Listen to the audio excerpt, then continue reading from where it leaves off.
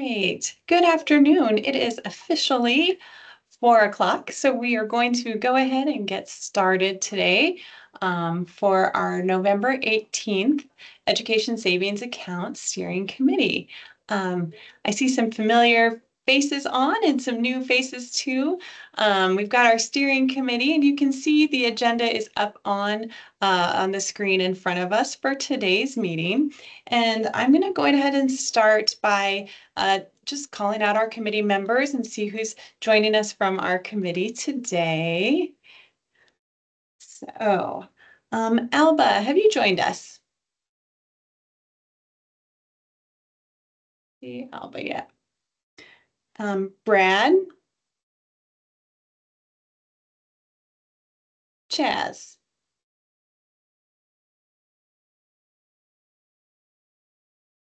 Sue? Catherine Walter? I'm here. Hi, Catherine. How are you? Good. Good to see you. All right, Rebecca? Jennifer. Stephanie.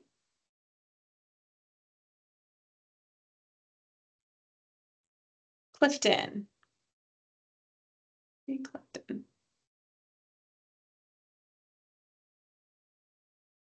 Jean. Lisa. Robin.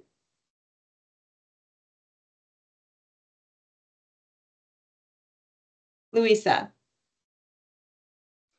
Hi, I'm here. Hi, Louisa. Good to see you. Hi. Good to see you guys. Amanda. And Sarah. All right. Well, we only have a couple of community members um, for this evening. Um, but Whitney and I will keep an eye on um, the participants as we get more and more participants. It's harder for us to see, but we'll try to keep an eye and um, and Catherine and Louisa, if you see um, one of our members jumping in, let us make sure to let me know so I can mark them down here and we can say hello. Um, so as you know, the purpose of the steering committee as it started um, last year was to review and provide feedback on the education savings account implementation. And um, we have uh, just our meeting to give some updates. The program has been implemented. We've gone through one round of applications. Um, we are in our second round of applications. Whitney will give us an update on that in a little bit. Um, but our first uh, uh, topic on our agenda is a litigation update, and we have our staff attorney, Rick Wooten, is here uh, to give uh, any um, any litigation update. Rick. Well, thank you, Christy. Hello, everybody. We have one small update, and timing wise, it was funny. It, they issued this, I think, the very day or the next day after our last meeting. The when I was explaining how nothing had happened because the plaintiffs haven't done anything about it ever since they were denied their temporary injunction. But on October 21st, uh, they filed a stipulated scheduling order just to sort of lay the groundwork moving forward. Uh, it gave deadlines for exchanging witnesses and completing discovery all that. The final date is uh, easy to remember. It's Valentine's Day next year. We have to have all discovery done, including depositions. But the court did not assign a trial date. So we have pre-trial motions that could happen after the discovery is over, no trial date, and no real indication that people are really gearing up for a trial. Um, there, there may be more to come on that once the legislative session begins. And we'll see what happens there. Questions for me about the litigation status? Catherine or Louisa, any committee members have questions? No, thank you. You're Okay. welcome. Absolutely. Thanks, Rick. Sure. All right. Um, our next topic is legislation update. Rick just alluded to the upcoming legislative session. Um, our legislative liaison, Katie Bloodgood here at the office, wasn't able to join us tonight. But um, as of right now, there are, we don't have any um, updates. There is in the draft bills, there is an um, education savings account sort of heading um, in that legislative um, website as there where they put bill drafts as those are coming, but there's no information there. So um, there really isn't more for us to share. But as Katie, um, I think told you all before, it's you know reaching out to your legislators, communicating with your legislators as following up on that. Um, so that's the the legis the legislation update. Um, our next update for you is our application update. The application window opened. Oh, Catherine, you had a question. Sorry, didn't mean to go I on. Go do. ahead. Yeah, go Um, ahead. So we don't know if they're going to do anything to address whether or not students that left the public school um, before this went into law can somehow be included going forward. No, we we don't have information on that, you know, and as the OPI, we we don't have that, but again, that's where you could reach out to your legislators and and make that, you know, share that information with them. hmm Because I thought of another scenario where kids would be excluded that would be detrimental. If somebody enrolls in the program and then they move, they wouldn't be counted in a school district's ANB funding. And so then they wouldn't be eligible.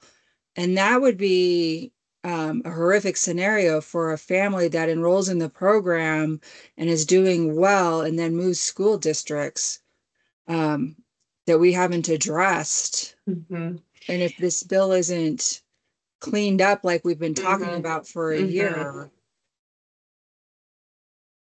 So Yeah, and we- Yeah, and, and Catherine, we just haven't seen, uh, there, there's no language out there yet, you know, we've, um, and so, um, as far as, you know, students moving from district to district, Whitney's been working through some of those issues for students that have been enrolled, following what the law says right now. Um, but again, I know that, you know, there are, um, a legislator there, there is a heading. I know they're, they're considering some things and we, you know, we've, you know, shared your comments and things as, as what we can. We aren't setting those policies though, so, um, but yeah. Um, just to really keep, yeah, and, you know, keep your legislator, you know, informed and, and that's what, what, what you can do for that, but, yeah. Okay. Yeah. Thanks, Catherine. Okay, I don't, I don't think I see any other committee member. Okay. All right, all right, Whitney, over to you to give us this application update. Oh, hi, Sue. I see you're on. I'm gonna mark you down. Good to see you. Oh, yeah, I just, I put a question in the chat. Um, you said that there's a legislation, um, Oh, on the Where you- legislative, the state legislative page. Uh, let me see what I can find. If not, Sue, I will follow up with you with an email, um, from our legislative liaison with that information if I don't find it quickly. okay, thank you. You got it. Go ahead, Whitney.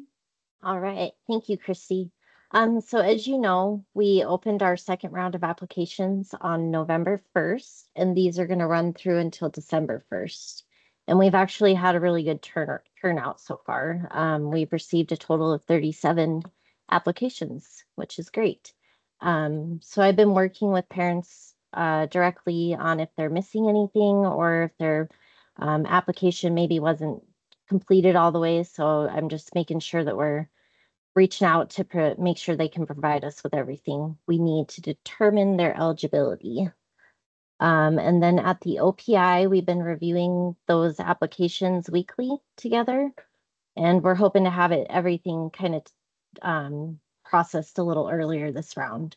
Because we're, our goal is to get contracts out to parents uh, mid-December so that we can notify our school districts by January. Um, that way they know which students are enrolled in the program. And so with 13 days remaining, I'm expecting to have a higher turnaround this time than the first round, which is great. and that's all I have for application updates. So if there's any questions on that, just let me know.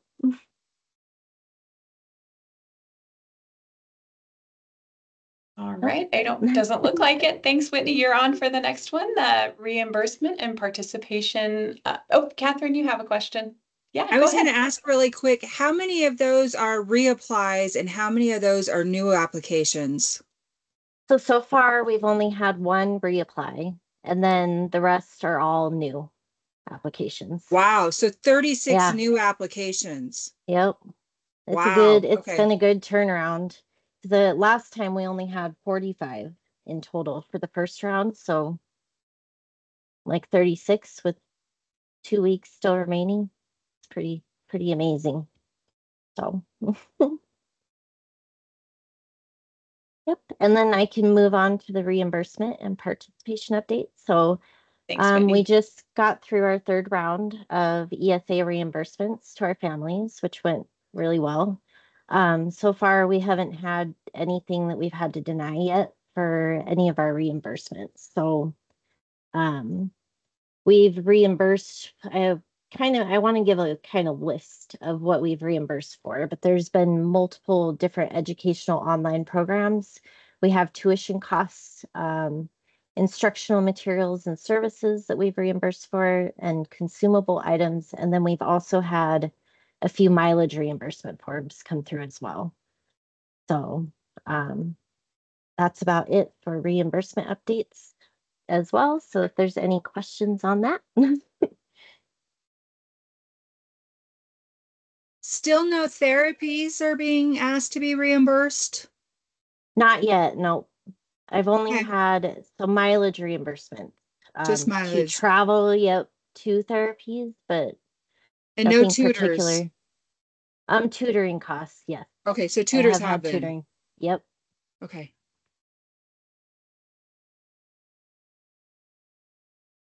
Right. I think we've had two, two families with tutoring costs, so Mhm.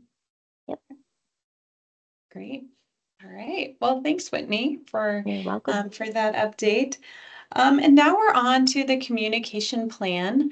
Um, you've talked about this um, for uh, as a committee. We've talked about sharing out the information. It sounds like we've done um, that. There has been a lot of communication with the new applications. I think Whitney. I think we can um, say that that you, the the message has has been getting out and um, that your communication plan. I know the one pager that you um, gave feedback to Whitney on sharing that out um, has um, made a difference. We've got, you know, a number of applicants in in our our um, in our applicant pool for for this uh, round of applications.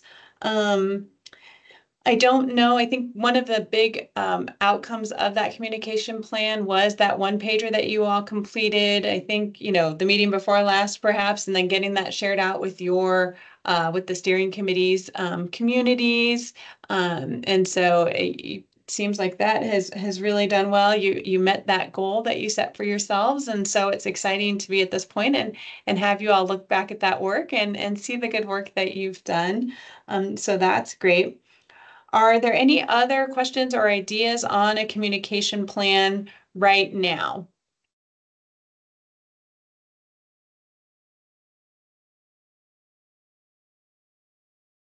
Doesn't seem like it. I didn't think so. We'd kind of come to a, a part here where we're we're in the middle of this application window and um, kind of made you made your you made your goal. You made it happen. So that was great work. Um, and I our next agenda item here is just determining um, any next meeting needs. We sort of had this on um, on the agenda for last time, and you all definitely wanted to come together here in November, get a feel for the numbers of applications that were coming in, um, and uh, see how your communication plan had worked. But now, committee members, what are your thoughts on next meeting um, needs?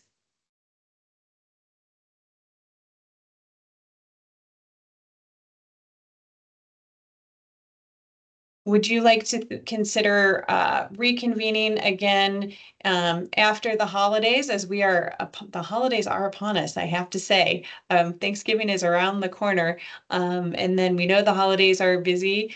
Um, would the steering committee, I know we've just got a couple of members um, on the call this evening, a few of you. Would you like to have, uh, look for a time in January, maybe um, thinking about a time in January to reconvene, or maybe even in February where uh, we have a little bit more information? We can give you the, um, Whitney can give you an update on um, the final numbers of any new families that are, are in the program. Um, we can look and, and see again if there's any legislative updates. Right now, we're still not seeing anything finalized in that, that bill Explorer that I put there um, just yet. But of course, things will be moving along in that regard. Um, thoughts from the committee? I say go don't- ahead and wait until January, February, and as long as nothing comes up that we don't need to address, then yeah, I don't see a reason for us to meet. Nothing that can't be solved through email. If we need to meet before that, you can send out an email. Send out a message. Mhm. Yeah, I agree with Yeah, that. I agree. I Wait think till that's a good idea. holiday. I'm sure we all have enough going on that we don't need to add another meeting unless It is it's that, needed. it's that time of year for sure. Sue, what do you think? Oh, yeah, I agree. Wait till after the first of the year. Okay, that sounds great.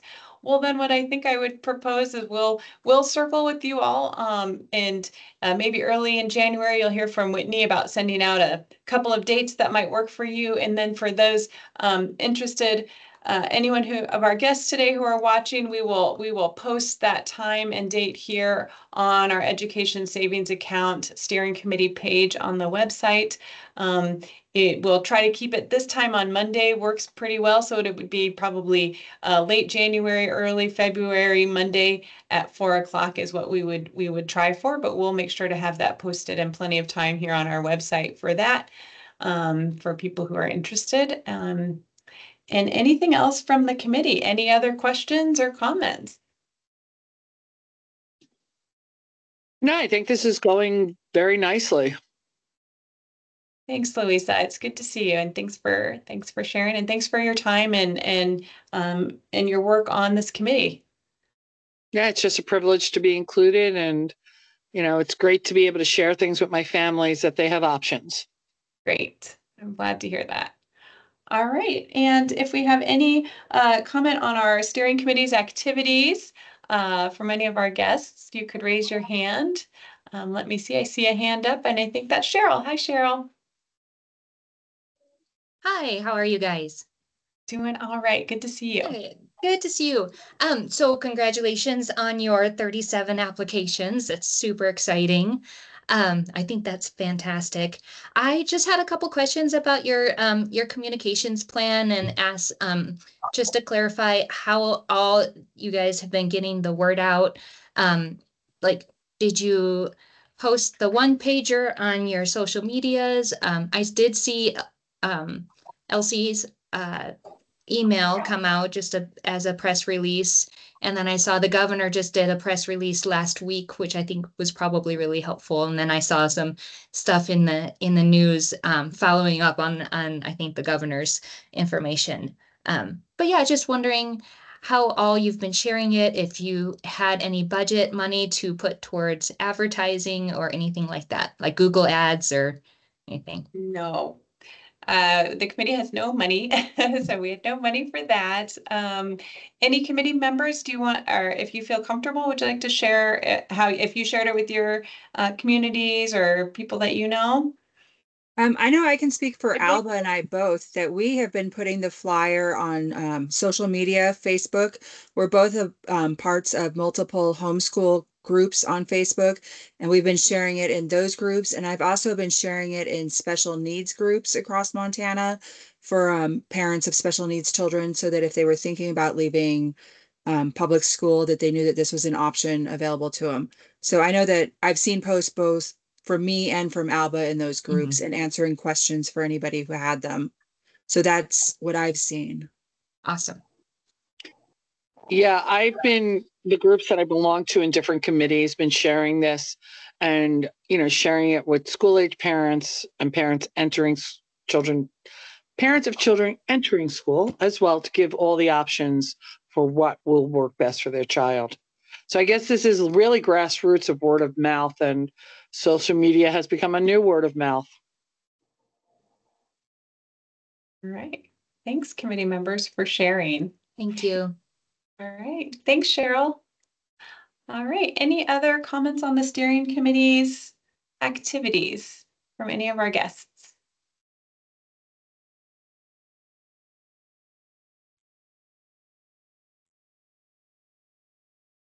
Right. Well, I, oh, I see a hand up. Uh, Patty Doyle. I, I don't see you, but I saw your hand pop up. You can go ahead and unmute if you have something you'd like to share with us. I was wondering if there was a vehicle in place where people who had online programs they were using or tutors they were using um, could evaluate to share their ideas on how well the programs are working, or if they have put in place a pre-test kind of post post-test sec- set for their kiddos um, that they could share. Does that make sense? It, it does, um, and we don't um, have that for this particular um, education savings account community, but I wonder if some of our committee members uh, through some of their groups might have some information to share on that or?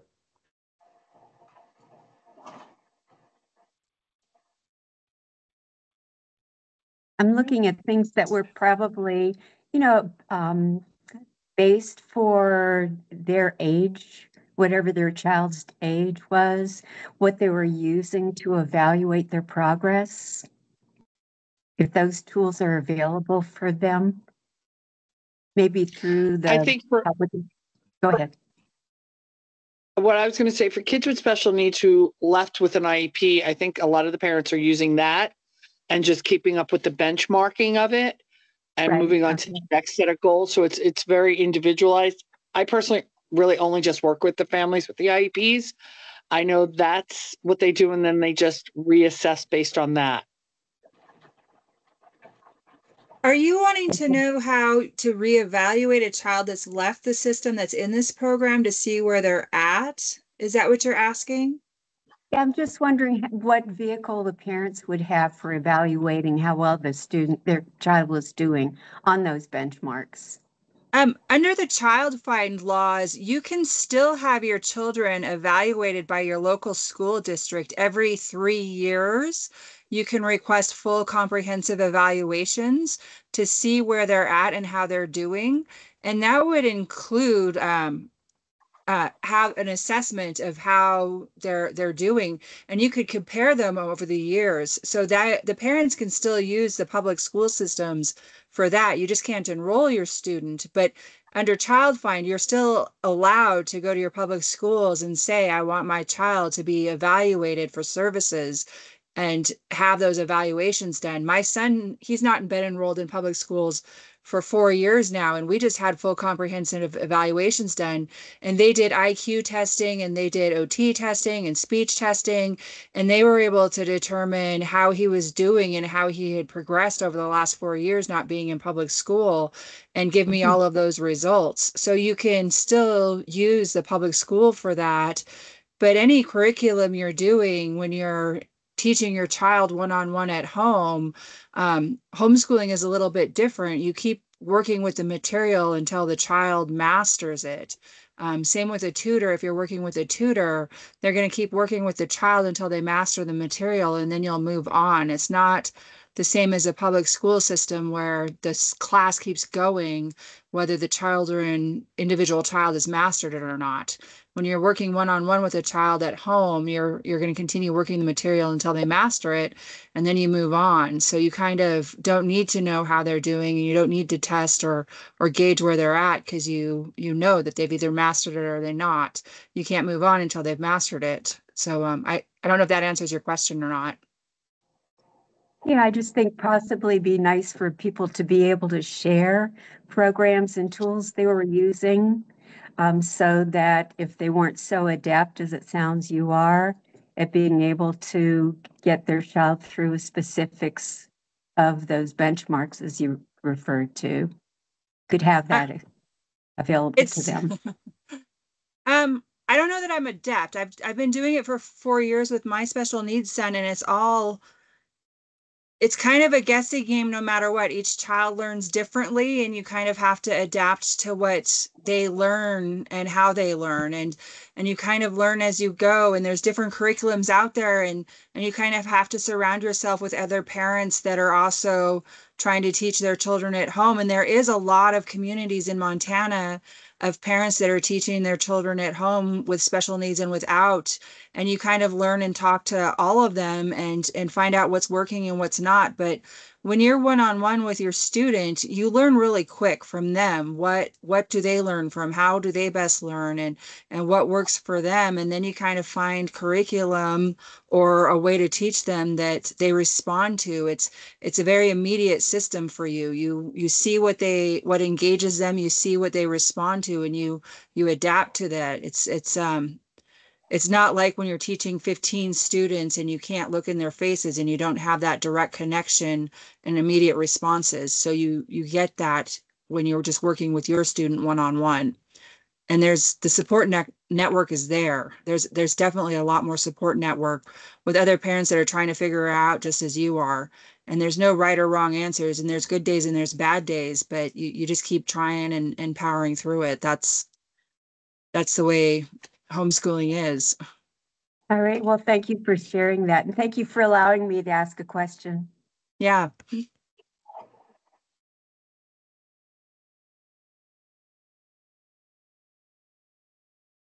I do just want to note um, that there is a clause in, you know, the law that does release the resident school district from all obligations for to educate the student and to provide that free and appropriate education. So exactly what Catherine was talking about, but I just wanted to kind of um, reiterate that.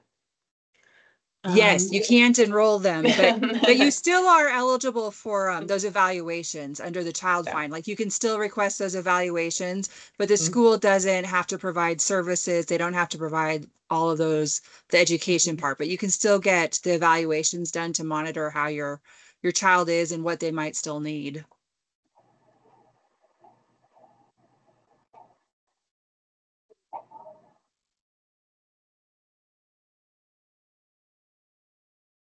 You're muted. Oh, sorry, I think we're getting ready to wrap up here. Thanks, Whitney. Um, I do see Cheryl, do you, was your hand still up or do you have another question or comment? Yeah, I just have one one other question. Um, something that I've been running into a little bit as I've been talking to parents, and I was hoping maybe you can clarify. And Catherine um, struck my memory on it. Um, when you unenroll your child and you release the school district, I guess it was you, Christy, who struck my memory. Um, and you release the school district. Um, can they still do uh like the part-time enrollment through that other avenue of the law and say, I still want my child to do PE and art class? Could you still do the open enrollment piece of Um, it? Not exactly open enrollment, no. They can't be enrolled at all. So if the school has sort of a program that they would, for example, pay a tuition piece to be part of potentially, but they can't be enrolled in the school at all. But if there was, yeah, but there's some Oh. way that, that there is that piece of the law that said they can be, they can, there, we can reimburse for public school expenses. If there were some way that that school had that set up potentially, Mhm. um, that could work. So I hope that Okay. clarifies a little bit. Yeah. And yeah. then has there been any, um, anyone who has been able to, um, fully unenroll from the school and then buy those services through the school? So maybe they're, they were doing speech therapy at the school and then they can buy the, use the ESA money toward that? Has anybody done that? Or is that like, you can't do that? Is that allowed?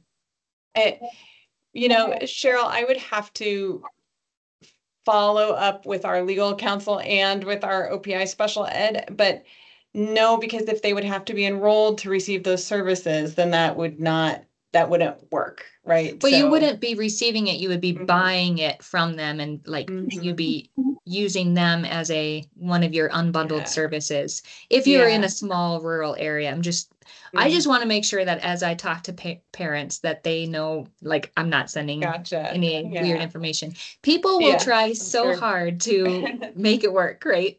Yeah, yeah, well, I would, let me circle with our, um, with our folks here, our legal department, and, um, have them take a quick look at that a little bit more closely, that particular question. I don't know, um, Cheryl, but I just, I, they would have, we'd have to take a closer look at that. Okay. spec- Specificity, I think, yeah. Thank you. Mhm. Chrissy, you might want to ask them because when a student's unenrolled, they're still eligible for a private placed service plan. And schools can still offer speech and OT services under a private place service plan. So Yeah. that, like, are they still out. eligible for that? Because technically they still would be eligible for a private place service plan with things like speech and OT. Um, because they're not enrolled, uh, and they shouldn't have to pay for it. Um, but I think that comes to FAPE again, Catherine, for the private, and this is a little bit different than that. So that's why, let So I'm me wondering, follow out. Yeah, let me. I think it's a whole gray area that the schools are not gonna wanna Mhm. do because they're already paying for the Mhm. kid, that they're gonna be like, we're already paying, so no. Well, and I think that, and I, I would just, I'm gonna have, I see Rick, I think is still on the line, but I, yeah, I'm gonna have him take a look into that law for a little bit more specificity, but I'm inclined to say no, because that, then they would need to be enrolled in the school, and a private school is different than withdraw, Right. than, than using the ESA program. That's a different, that, like, I see where that works for the private school, because the private Yeah. school doesn't offer it, but then still through FAPE, but the contracts, they don't have that anymore. That agreement is gone, and so I don't think so. This is where this is different. Yeah. In all Yeah. honesty, though, if you're looking at getting your kids therapy and you're using these dollars, your money is going to be better spent on private therapy than than paying for the school's therapy because the the goals in schools therapy is is keeping them at um, grade level and for in the school setting and private therapy is is for their whole life how are we going to better their lives? And um, private therapy is much more aggressive and much more focused and your results are are generally much better so i would always encourage you to go private therapy over school therapy um, and build a relationship with a private therapist. So if if parents are like trying to choose and you have the option to use esa money to go private therapy find a private therapist and and go that route. Absolutely. All right. Thanks, Cheryl. I hope that kind of answered your question. I think we kind of got around to that a little bit. Um, Yeah. and It might be a good opportunity for um, a correction in the law to just to kind of smooth things out and make some clear designations of how they can use it. Or if they want to say, we can go ahead and use it um, that in that direction or not. Thank you. all right. Well, I think we have come to the end of our time together today. Um, as always, good to see you. Thanks, Whitney, for your information. Thanks, Rick, for for sharing out, and thank you, committee. We will circle back with you all after the new year. In the meantime, have a have a safe, wonderful holiday season. We've not had too much snow here, but um, I'm sure it's on the way, and I think some areas have gotten a little more than we have here. Um, but in the meantime, uh, be safe, everyone, and we'll see you next year. Thanks, everyone. Thank you. Thank you, Christy. thank you